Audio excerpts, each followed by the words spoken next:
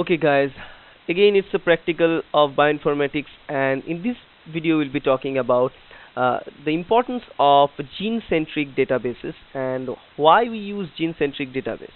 So actually uh, for, for knowing all these details uh, we need to go for NCBI or National Center for Biotechnology Information. So let's let's go here and let's find it out.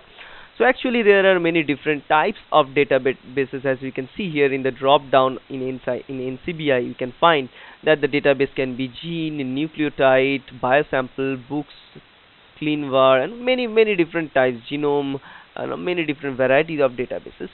Now we are mainly focused on here in the gene database and which is called a gene centric database. Now the importance of gene centric database is that it will give you the information of all genes at a particular locus. So if you if you impact a particular locus, it will give the idea of all the genes that is present into the particular locus.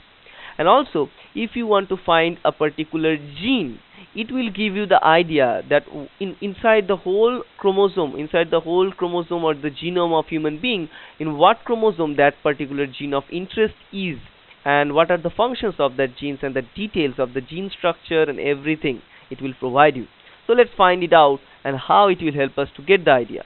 So let's say uh, let's say we want to find the DUT gene uh, that we have previously talked about. So let's find out DUT in this gene centric database and after the search it will give us you can see many different results and all of the genes are the DUT genes and the DUT gene here it means the deoxyuridine triphosphate and that's that's true for all of them right for homo sapiens for escherichia coli uh, musculus and many many different uh, examples uh, that they provide us. Many examples that they provide us in many different uh, different bacteria different eukaryotic systems and many different things they will provide us this particular value. And we get this DUT in all of them. And what is the function of this DUT and what is the chromosome where the DUT is there? So you can see here in chromosome number 15 of human being we get this DUT gene. Similarly if we look for mus musculus or or normally house mouse we can see this uh, gene in chromosome number 2 similarly if you look at the rattus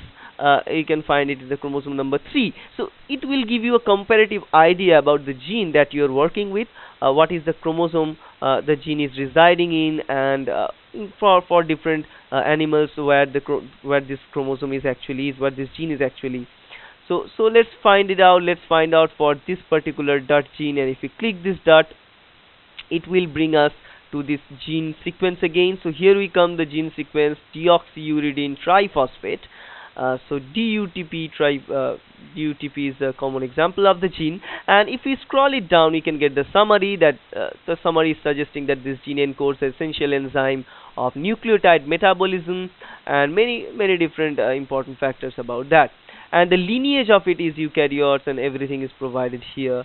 And as you can see uh, as we as we scroll it down a little bit so you can find uh, that this this gene you can see this is the DUT gene in the graphical representation. In this graphical representation we can see uh, many different rights that that now if, if I if I it is a scroll. So if we if we scroll it down what we can see here? We can see the different uh, different locus where it presents actually. You can see the locus is chromosome number 15 at a particular way. And in this particular region we can see many different varieties of position that we can find this gene right? So many different genes present in this same locus. We can find it using this gene centric databases.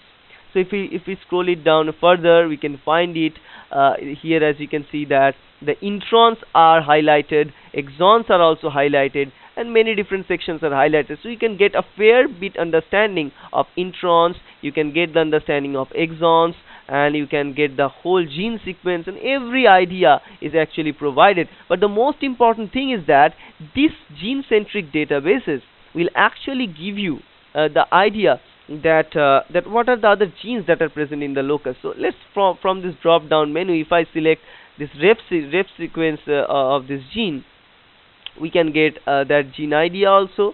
Here we go. Uh, that sequence is also provided. This is DBSNP so it's a simple single nucleotide polymorphism result for that particular gene. And we get the idea here right? And again if we vary this uh, to some something else again alternative HUREF here. So so this is another accession number. So accession numbers will vary because uh, those entries are coming from different different uh, places. So you can see another result as we can see here in this case. Okay. So we can find different different we can find the examples or or uh, the actual sequence uh, result from different perspective different point of view and with different regions.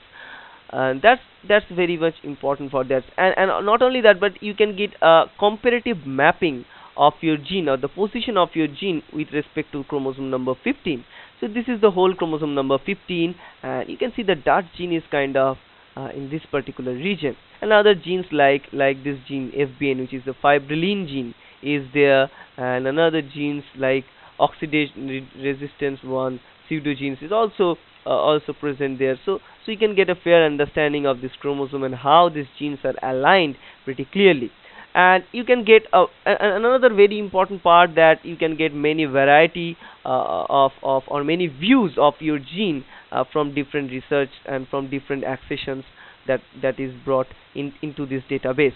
Okay so that's why these gene centric databases are uh, are sometimes very much handy tool once you're working with a known gene sequence of your interest. That's what the importance of these uh, gene centric databases guys and i hope that's helpful. Thank you